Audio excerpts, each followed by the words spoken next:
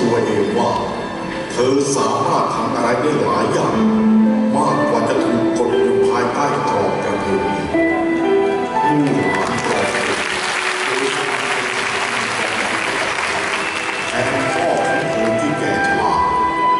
เธอต่อสู้จนได้มาซึ่งการยอมรับจากเพื่อนทหารและแม่ทัพ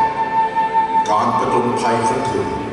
นำไปสู่การต่อสู้ครั้งยิ่งใหญ่ ที่กอบกู้ประเทศจีนและนำเกียรติยศมาสู่วงตระกูล